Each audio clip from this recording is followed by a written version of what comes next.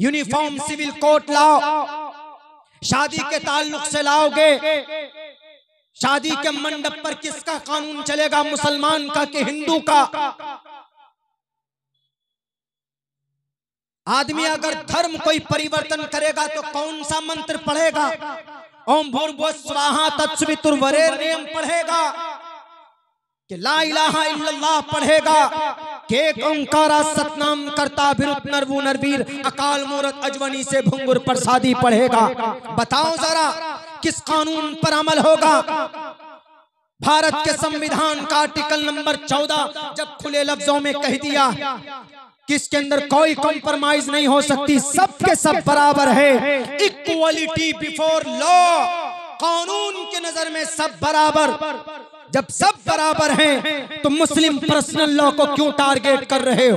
मुस्लिम personal law के लिए मुसलमानों से मशवरा, हमारे बड़े वो लोग जो कयादत कर रहे हैं, जो कहते हैं कि नोटिफिकेशन आ गया, राय दीजिए, आप उनसे ब्लू प्रिंट मंगाइए, उनसे मुसवदा मंगाइए कि हमारे मुस्लिम पर्सनल लॉ के कौन कौन से कानून को जद में ला रहे हैं। नहीं जनाब, वहाँ से आदेश आया एक आम मुसलमानों को मालूम नहीं है कि what is the definition of uniform civil code what is the matter of uniform civil code uniform के ज़रिए से क्या कहा जा रहा? क्या समझा जा रहा?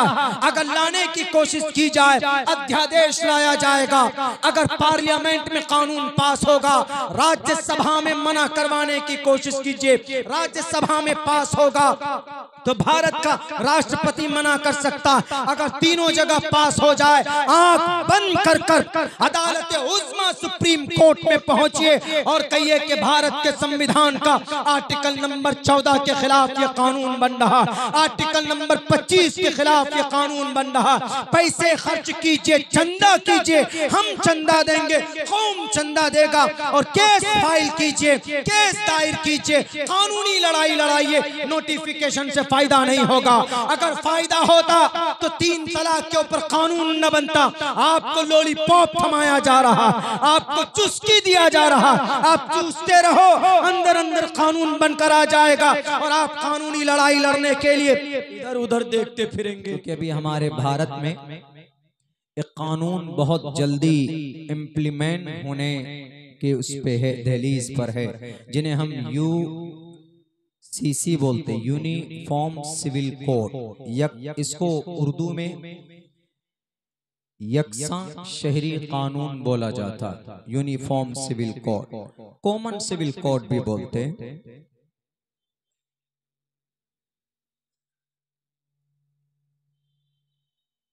लॉ कमीशन के ज़रिए नोटिफिकेशन भी जारी है।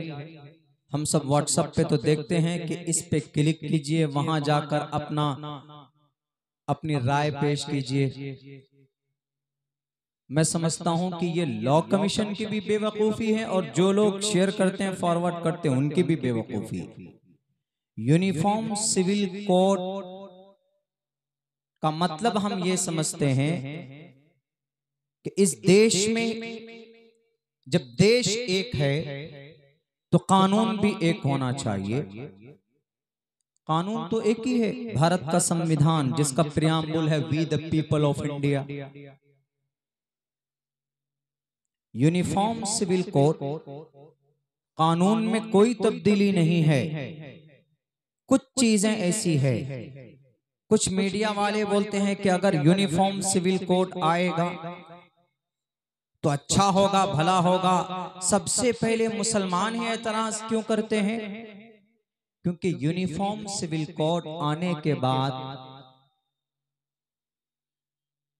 कुछ चीज़ें ऐसी है कुछ मसाइल ऐसे हैं कि जिनके ऊपर पाबंदी लग जाएगी और वो सिर्फ़ मुसलमानों के मसाइल हैं। इस वजह से मुसलमान उसकी मखालफत कर रहा है। और जो लोग बोलते हैं कि अपनी राय पेश कीजिए कि 22 में लॉ कमीशन ने नोटिफिकेशन जारी किया है। उस पे स्कैनर पे जाइए क्यूआर कोड को स्कैन कीजिए वहाँ पर बटन दबाइए वहाँ पर ये आएगा वहाँ पर वो लिखिए अभी यूनिफॉर्म सिविल कोड का ब्लूप्रिंट मार्केट में अभी लॉन्च नहीं किया गया है मुकम्मल तौर पर। कुछ चीज़ें ज़ाहिर हुई है। गवर्नमेंट क्या करना चाहती है? मौजूदा वक्त के इख्तिदार में बैठने वाले ये जितने भी बेईमान लोग हैं यूनिफॉर्म सिविल कोड लाकर भारत के लिए फ़ायदा नहीं पहुंचाना चाहते हैं। भारत की तरक्की के लिए काम नहीं कर रहे हैं। यूनिफॉर्म सिविल कोड में क्या होगा? अगर यूनिफॉर्म सिविल कोड लाएँगे, क्या संविधान बदल जाएगा? एफआईआर करने का तरीका बदल जाएगा? कोर्ट कचेरी के निज़ाम बदल जाएँगे? कोर्ट तो अब भी एक ही है। अगर कोई मर्डर करता है तो उसके ऊपर क्या धारा बदल जाएगा? तीन सौ दो नहीं लगेगा। कोई मारने की कोशिश करेगा तो 307 नहीं लगेगा। कोई रेप करेगा तो तुम से छिहत्तर नहीं लगेगा। ऐसा होगा ऐसा नहीं होगा वो तो अपनी जगह पर है। हाँ। कुछ चीज़ें ऐसी है समाजी चीज़ें ऐसी है कि जिसके अंदर तब्दीली होगी। मिसाल के तौर पर लड़कियाँ हैं उसकी शादी की उम्र बढ़ा दी जाए। कि लड़कियाँ ग्रेजुएशन करेंगी। 21 साल तक उनका टाइम बढ़ा दिया गया है। कि लड़कियाँ 21 साल के बाद शादी करेंगी। 18 और 21 साल दोनों। इसको ज़रूरी करार दिया जाएगा। कोई बात नहीं। इस्लाम में 12 साल में बच्चियाँ बालिका हो जाती बालिग हो जाती है। तो क्या 12 साल के बाद शादी करना ज़रूरी थोड़ी है? ज़रूरी नहीं है। ज़रूरी इस्लाम में शादी करना जब ज़रूरी है जब आप अपने ऊपर कंट्रोल नहीं रख पाएँगे आप गुनाह में शामिल हो जाएँगे आप नाजायज संबंध में चले जाएँगे। ऐसे वक्त में शादी करना ज़रूरी है फ़र्ज़ है वाजिब है। वरना तीस साल की उम्र में औरत पहुँच जाए लड़की पहुँच जाए। कॉन्फिडेंट है। अपना काम कर रही है कारोबार है नहीं घर पे रहती है नहीं करना चाहती या गुर्बत है बहुत सारी चीज़ें हैं। गुनाह में मुलविस ना होने का अंदेशा। ऐसी सूरत में क्या ज़रूरत है? इस्लाम नहीं कहता है कि तुम शादी करो। कोई दिक्कत नहीं। दूसरा फाय दूसरा कानून क्या होगा? बहु विवाह मना। असल इसको लाना है। असल में इसको लाना है। यानी मुसलमान एक शादी कर पाएगा यूनिफॉर्म सिविल कोड आने के बाद दो शादी नहीं कर पाएगा। तीसरे नंबर पर क्या होगा? तलाक में अभी तो सिर्फ़ मर्द को अधिकार है कि मर्द ही तलाक दे सकता है। लेकिन उस वक्त में यूनिफॉर्म सिविल कोड आने के बाद तलाक औरत भी दे सकेगी सिर्फ़ मर्द के जिम्मे। तलाक का अधिकार जो होगा वो खत्म हो जाएगा मर्द मालिक नहीं होगा औरत भी जब चाहे तलाक दे सकती है और तलाक के बाद अभी इस्लामिक कानून के एतबार से तलाक हो जाने के बाद तलाक हो गई औरत अलग मर्द अलग। लेकिन नहीं अब ये कानून आने के बाद में तलाक हो जाने के बाद भी पूरी ज़िंदगी उसको एलिमिनी मिलती रहेगी उसको नाम नफ का खर्च देता रहेगा शौहर। यूनिफॉर्म सिविल कोड आने के बाद ऐसा होगा। ये शरीयत के साथ या पर्सनल लॉ के साथ खिलवाड़। और क्या होगा? और ये होगा तड़का। अभी मुसलमान में मर्द के औरत के बच्चे के लड़की के लिए एक हिस्सा है। लड़के के लिए दो हिस्सा है। कहते हैं कि ये जुल्म ज्यादती है। तलाक सिर्फ़ मर्द दे पाएगा ये भी जुल्म ज्यादती है। एक मर्द चार शादियाँ कर पाएँगे चार शादियाँ करते हैं। ये भी बिल्कुल सही नहीं है। औरत एक भी ना कर सके एक ही पर एक ही काफ़ी इनफ फॉर वुमेन औरत के लिए एक ही शादी मर्द के लिए चार चार असल यूनिफॉर्म सिविल कोड लाने का मकसद इस देश को क्या बोलते हैं? कि हम इस देश को तरक्की देना चाहते हैं। क्या बताइए अगर मुस्लिम चार शादी के मामले की वजह से क्या देश में गुर्बत है? देश की तरक्की रुकी हुई है कि नहीं? जो मुसलमान चार शादी कर रहा है इसलिए देश तरक्की नहीं कर रहा है। क्या तलाक की वजह से देश की तरक्की रुकी हुई है? क्या औरत 21 साल में बच्चियाँ शादी नहीं कर रही पहले कर ली इस वजह से देश गुर्बत में। उदाहरण देते हैं हमारे इस देश के प्राइम मिनिस्टर साहब। आपको नर्सरी क्लास में दाखला लेना चाहिए। आप कहते हैं कि एक घर में चार बेटा है। बाप का एक ही कानून होता है। अगर एक घर में चार बेटा हो हर बेटे के लिए अलग अलग कानून हो वो तो घर का मामला है। देश में आप अलग अलग कानून कैसे बना सकते हैं? देश के संविधान आर्टिकल 19 आर्टिकल 25 और आर्टिकल 14 का वायलेशन आप कर रहे हैं। आपको पता होना चाहिए। आर्टिकल 44 का सहारा आप ले रहे हैं। दफ़ा चौवालीस में क्या लिखा है? उस पर भी गौर करने की ज़रूरत है। इसी दफ़ा चौवालीस को लेकर यूनिफॉर्म सिविल कोड लाना चाहते हैं। यानी एक ऐसा कानून समान नागरिक संहिता। यानी सब बराबर जब एक देश है एक कानून मैं कहता हूँ होना चाहिए। हम तो पहले कहते हैं चिल्ला चिल्ला करके भाई जब खुदा एक है तो इंसान क्यों अलग अलग है? जब देश में प्राइम मिनिस्टर एक है तो कानून भी एक होना चाहिए सबके लिए। जब खुदा एक है तो तैतीस करोड़ देवी देवताओं को फिर अलग करो। एक खुदा को क्यों नहीं मानते एक परमात्मा को क्यों नहीं मानते? कहते हैं कि नहीं एक ही कानून होना चाहिए। अभी तो अमेरिका घूम कर कर गया है प्राइम मिनिस्टर साहब अमेरिका में पचास स्टेट है पचास। और दुनिया के अंदर नंबर वन पर तरक्की में तरक्की याफ्ता कोई मुल्क है तो कौन है अमेरिका? पचास स्टेट हैं और पचास कानून है। अलग अलग स्टेट के अलग अलग कानून। बहाना ढूंढते हैं आप। कुछ नहीं है। और हम मुसलमान हैं ना सोशल मीडिया के ज़रिए जो मैसेजेस देखते हैं इतना परेशान हो जाते हैं क्या करना जी? उठते बैठते परेशान हो जाते। यहाँ प्रोटेस्ट वहाँ झंडा वहाँ लाठी वहाँ डंडा वहाँ नारे तकबीर। यहाँ ये वहाँ वो। कुछ नहीं करना है। कुछ नहीं। अगर ऐसा होता है खुद भारत के संविधान आर्टिकल नंबर 14 में लिखा हुआ है इक्वलिटी बिफोर लॉ और the equal protection of the laws within the territory of India Bharat के अंदर सब के सब बराबर हैं। और मज़हब पर अमल करने की आज़ादी आर्टिकल नंबर 25 देता है।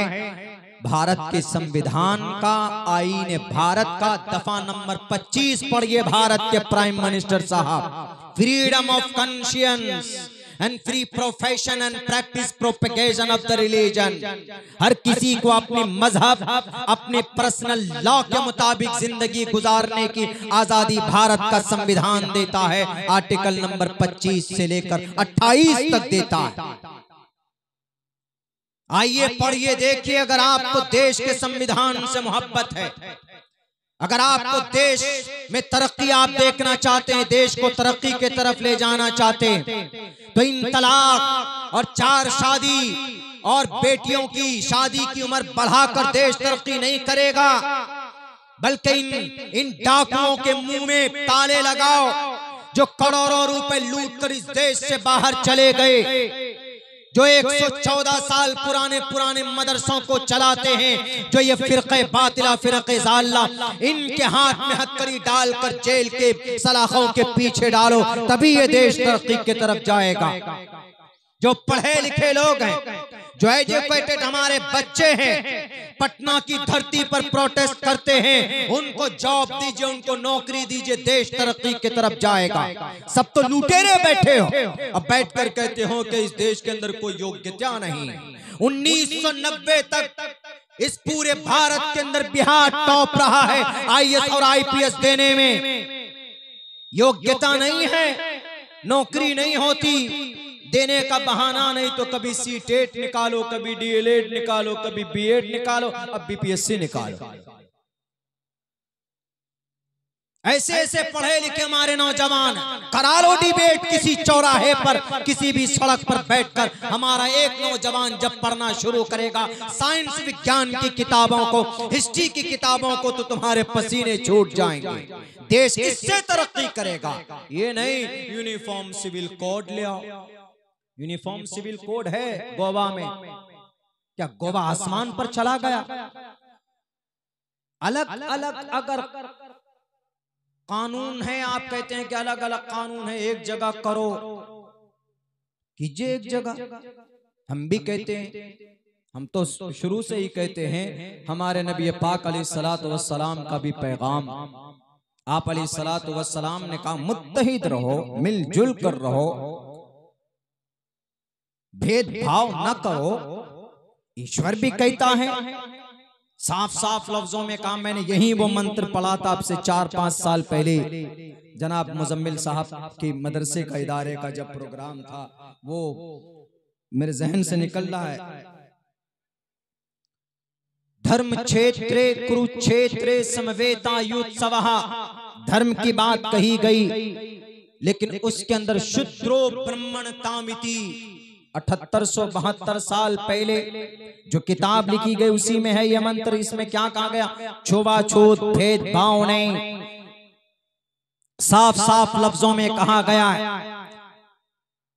शुद्रो ब्रह्मण तामिति ब्रह्मणश्चैति शूद्रताम क्षेत्रियो याति वित्रत्वम विघाद्वीश्यम तथे चचा स एक एवात्रपति परजानाम कथम पुनर्जाति कीर्त पर भेदा हम चीख कर कहते हैं स के एवात्रपति इस ज़मीन को पैदा करने वाला, इस आसमान, आकाश को पैदा करने वाला, सूर्य को, चंद्रमा को पैदा करने वाला, वायु, जल को पैदा करने वाला परमात्मा एक। तो तैतीस करोड़ देवी देवता की पूजा भी नहीं होनी चाहिए। कानून एक मत चिल्लाइए, बल्कि एक ईश्वर को मानकर शपथ लीजिए कि परमात्मा आप ही एक है। ब्रह्मा ने ही तो सवाल किया था ब्रह्मा ने सवाल किया था शिव जी से, कृष्ण ने समझाया था। उस बल्कि उस वक्त के कृष्ण नहीं, सबसे बड़े इस कायनात को परवरिश करने वाले विष्णु ने समझाया शिव को कि शिव कैसे सवाल करते हो। उन्होंने कहा कि ब्रह्मा को पैदा करने वाली जात भी तो कोई है जिसने ब्रह्मा को पैदा किया। शिव जी का ये सवाल था किन से विष्णु से विष्णु ने कहा कि नहीं, इससे आगे बात मत करो, तुम आगे मत जाओ। बस जो है, वही है हम ही इन तीनों हैं, इन दुनिया की, दुनिया को पैदा करने वाला। पिता, ये ब्रह्मा जी हैं और पालने वाले ये विष्णु जी हैं। और शिव, तुम तुम मारते हो, तुम आंधी और तूफ़ान लाते हो, मृत्यु तुम देते हो। बस यही तीन चीज़ इस दुनिया की हकीकत है बाद दुनिया के अंदर और कोई नहीं। उन्होंने कहा, शिव जी ने कहा कि नहीं, इस संसार को, आसमान को, आकाश को, वायु को, सूर्य को, चंद्रमा को, जल, थल, वन, इन सबको किसने पैदा किया? मानव को ब्रह्मा पैदा कर सकता है, मान सकते हैं, मानव को पैदा किया, इंसानों को पैदा किया, लेकिन इनसे पहले और भी तो चीज़ें मौजूद थी, उसको किसने पैदा किया? तुम्हारी सोच रुक जाएगी उसकी तहकीक उसका पता अल्लाह तबारक व ताला अपने कुरान करीम के अंदर देता है। अल्लाह तबारक व ताला कहता है कि इन तमाम चीज़ों का क्रिएटर अगर कोई है तो अल्लाह तबारक व ताला की ज़ात। उसी अल्लाह ने कुरान करीम को बनाया। और अगर मुसलमान चार शादी करता है तो कुरान में है। फन मसना व सुलास व रुबा। ज़रूरी नहीं है कि हर मोमिन जाकर चार चार लड़कियों के हाथ पकड़कर अबिल तू कबिल तू कहे ज़रूरी नहीं है। मिसाल के तौर पर मिसाल के तौर पर अगर किसी ने शादी की पहली बीवी से कोई औलाद नहीं हुई। अगर आप यूनिफॉर्म सिविल कोड ले आएँगे तो क्या करेगा वो? उसी की आरती उतारेगा उसको लात चप्पल घूसे से भी मारता है। देखेंगे आप गाँव समाज में अगर कोई औरत दो साल तीन साल तक कोई बच्चा न दे तो फ़ौरन उसके ऊपर क्या तुहमतें लगाते? अरे तो बांझ है। कोस कोस कर मार देते हैं उसको। तो इस्लाम ने एक रास्ता निकाला। इस्लाम में क्या ऑप्शन है? इस्लाम में यह ऑप्शन है कि अगर कोई तीन साल चार साल तक कोई औरत बच्चा नहीं दे पाती है बांझ हो गई कमी है कोई प्रॉब्लम है तो इस्लाम कहता है दूसरी कर लो दूसरी से बच्चा ना हो तीसरी कर लो तीसरी से ना हो चौथी कर लो। ये ऑप्शन है यूनिफॉर्म सिविल कोड लाने के बाद आप एक ही के साथ रहिए वो एक के साथ पास तो वो भी नहीं रहते खुद हमारे प्राइम मिनिस्टर साहब एक को नहीं रखे हुए। चालीस बयालीस साल पहले ही छोड़कर अहमदाबाद में आ गए हैं दिल्ली में आके बस गए। वो तो एक भी नहीं रख पाते। एक तो ये फ़ायदा है। चार शादी करने का ये फ़ायदा। लेकिन मुसलमान नहीं करता। मुसलमान तो एक ही से परेशान हो जाता है करता नहीं किसी मजबूरी पे दूसरी या तीसरी करता है। बाज लोग चौथी भी कर लेता है ऐसा तो बहुत कम सौ में से मेरे ख्याल से आपको एक आध मिल जाए तो गनीमत। लेकिन फ़ायदा क्या? हिकमत है इसमें। इस देश में ज़बरदस्ती डिस्क्रिमिनेशन की बुनियाद पर कानून बनाने वालों। हिकमत से खाली अल्लाह का फरमान नहीं होता। अगर इस्लाम में चार शादी की परमिशन है एक बहुत बड़ी बुराई को रोक सकती है अल्लाह तबारक व ताला का ये फरमान उठाओ।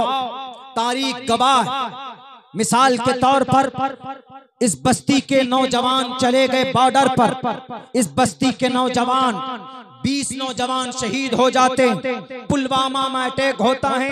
चालीस नौजवान शहीद हो गए। सब शादी शुदा थे। सबकी बीवी विधवा हुई कि नहीं हुई? सबकी बीवी विधवा हुई। अब वो औरत ऐसी शादी शुदा उससे कौन शादी करेगा? यूनिफॉर्म सिविल कोड के तहत वो औरत कभी भी शादी नहीं कर सकती बहु विवाह के तहत। इसलिए कि एक मर्द एक ही शादी करेगा दूसरी नहीं कर सकता। अब वो औरत क्या करेंगी? बनाओ सिंगार की वजह से अपनी सेक्स डिज़ायर को पूरी करने के लिए अपनी हवस को मुकम्मल करने के लिए नाजायज संबंध बनाएँगी लिव इन रिलेशन में आएँगी। और फिर वहाँ से जुर्म साबित होगा गुनाह बड़े बड़े क्राइम वजूद में आएँगे। ना नाजायज संबंध की वजह से ना नाजायज संबंध की वजह से बास औरतें तो अपने घर चलाने के लिए अपनी इज़्ज़त को बेचेंगी। जैसे पटना के अंदर तवाइफ अपनी रातों को इज़्ज़त बेचती है तब चलकर दिन में उनका चूल्हा जलता। पटना की धरती और दिल्ली की धरती कलकत्ता की धरती बेंगलोर चेन्नई बड़े बड़े शहरों को आप काउंट कर लीजिए कम से कम एक लाख से सवा लाख बच्चियाँ, औरतें ऐसी, उनसे पूछिएगा, पचहत्तर परसेंट औरतें ये कहेंगी कि मेरा शौहर इंतकाल कर गया, मैं विधवा हूँ, मेरी परवरिश करने वाला कोई नहीं था, इसलिए मैं अपनी इज़्ज़त बेचकर अपने बच्चे की परवरिश कर रहा, कर रही हूँ। ऐसी सूरत में इस्लाम कहता है शादीशुदा नौजवानों, तुमने शादी की है, तुम्हारे घर में एक बीवी है, लेकिन तुम्हारे पड़ोस में अगर कोई जवान देश के लिए शहीद होता है तो उसकी विधवा बीवी के हाथ पकड़ कर उनसे निकाह करो। अगर दो है तो तीसरा निकाह करो। अगर तीन है तो चौथा निकाह करो।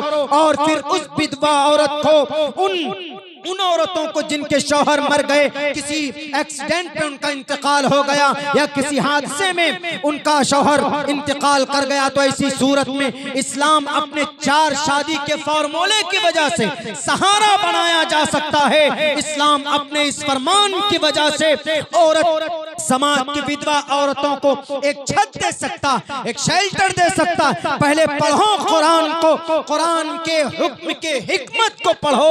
अपनी जहानत की वजह से यूनिफॉर्म सिविल कोड लाने से नहीं होगा बल्कि अल्लाह तबारक व ताला का फरमान है। ओलमा ने मुफस्सिरीन ने यही हिकमत बताई है कि अल्लाह तबारक व ताला के फरमान अल्लाह का हुक्म हिकमत से खाली नहीं होता। अब बताइए, वो जो विधवा औरतें हैं, उनकी ज़िंदगी संवर सकती है, बन सकती है, वो गुनाह से बच सकती है और बड़े बड़े क्राइम होने से बच सकते हैं। अगर इस पर अमल किया जाए तो इसका एक ये भी फ़ायदा है। दूसरी बात कहते हैं कि नहीं जना, इस्लाम सिर्फ़ औरत, वो कहते हैं कि आप लोग औरत के हक को मारते हैं। औरत के हक को कैसे मारते जी? वो कहते देखिए लड़का है तो दो हिस्सा लड़की है तो एक हिस्सा। यकीनन दिखने में तो ऐसा लग रहा है यूनिफॉर्म सिविल कोड आएगा तो बराबर सराबर का हिस्सा। मर्द लड़के को जितना हिस्सा मिलेगा बाप के माल में से उतना ही लड़की को भी मिलेगा बराबर सराबर। यूनिफॉर्म सिविल कोड अच्छी बात है। आपके हिसाब से दुनिया के हिसाब से। लेकिन पता है इस्लाम ने शरीयत ने औरत को एक ही हिस्सा क्यों दिया है? मर्द को दो हिस्सा क्यों दिया है? इसकी हिकमत क्या? है? राज क्या है? अगर ना इंसाफी है तो क्यों? एक्सप्लेन कीजिए। एक्सप्लेनेशन होना चाहिए। और यकीनन होना चाहिए जो लोग टीवी के डिबेट पे जाते हैं बैठते हैं इस्लाम की तर्जमानी करते हैं, मैं उनसे कहूँगा कि थोड़ा पढ़ करके जाइए, थोड़ा स्टडी कर करके जाइए और उनको समझाइए कि इस्लाम ने अगर औरत को एक हक दिया है, एक हिस्सा दिया है, मर्द को दो दिया है, उसकी वजह है। बीमार होता है, बीवी बीमार होती है, बच्चा बीमार होता है माँ बाप बीमार होते हैं, वालिदैन तो कौन लेकर जाता? लड़का लेकर जाता। पॉकेट से पैसे किसके खर्च होते? लड़के के खर्च होते। जेल चला जाए। एक्सीडेंट हो जाए। किसका पैसा जाएगा? लड़के का जाएगा। मर्द का जाता है। बीवी बच्चे अगर वालिदैन ज़िंदा है तो वालिदैन। किनके सर पर किनकी ज़िम्मेदारी पर? बेटे की ज़िम्मेदारी पर। तो इस्लाम ने क्या कहा? बेटे को इसलिए डबल मिलना चाहिए। और अगर लड़की है तो क्या हॉस्पिटल लड़की जाती? माँ बाप की खिदमत माँ बाप की देखभाल कोई लड़की करती है नहीं। वो तो शादी करके कहाँ चली गई अपने शोहर के साथ? और उस लड़की का खर्च भी शोहर के जिम्मे। लड़की को तो कुछ खर्च नहीं करना पड़ता। तो इस्लाम ने कहा इसीलिए लड़की के हक में एक हिस्सा क्योंकि उसको खर्च बर्दाश्त नहीं करना पड़ता और लड़के को खर्च बर्दाश्त करना पड़ता है। ये राज है। मीडिया वालों ये राज है। यकीनन तुम्हारा कलेजा अगर बड़ा है तुम्हारा जमीर ज़िंदा है तो अब्दुल्ला सालिम को इनवाइट करना किसी दिन बताऊँगा समझाऊँगा। कुरान के पैगाम की हिकमत को। ये नहीं कि भाई अल्लाह ने कुरान में कह दिया बस। नहीं कुरान की हिकमत को बताऊँगा। सिर्फ़ चीखने चिल्लाने से टीवी के रूम में न्यूज़ के रूम में बैठकर इस्लाम को बदनाम करना कि नहीं इस्लाम में देखिए औरत का हक मार लिया जाता है। अरे मर्द के जिम्मे सारे खराजात आते हैं औरत के जिम्मे कोई खर्च नहीं आता है। इसलिए इस्लाम ने कहा कि मर्द को दो हिस्सा मिलेगा और औरत को लड़की को एक हिस्सा मिलेगा। कौन सी गुनाह की बात है? कोई गुनाह नहीं है। ये हिकमत है हिकमत। डीपली अगर पढ़ोगे तो तुम्हारा दिल भी कहेगा कि यकीनन कुरान करीम का फरमान सच्चा और बेटर है। परेशानी को फेस करने वाला मर्द, कोई दिक्कत आए, परेशानी आए, केस हो जाए तो जेल मर्द जाए। कहीं पर अगर कोर्ट में हाजिरी देना हो तो मर्द जाए। मजदूरी करने के लिए मर्द पहुँचता है पसीने में धूप में पसीना मर्द निकालता। है कुरान करीम पर एतराज़ करना बहुत आसान है। अगर यकीनन तुम्हारे अंदर कुछ क्वालिफिकेशन है तो मैं तुम्हें दावत देता हूँ पैगाम देता हूँ ज़्यादा नहीं छह महीना। कुरान करीम की तफसीर को मसाइल को स्टडी करके देखो खुद यूनिफॉर्म सिविल कोड की मखालफत करोगे।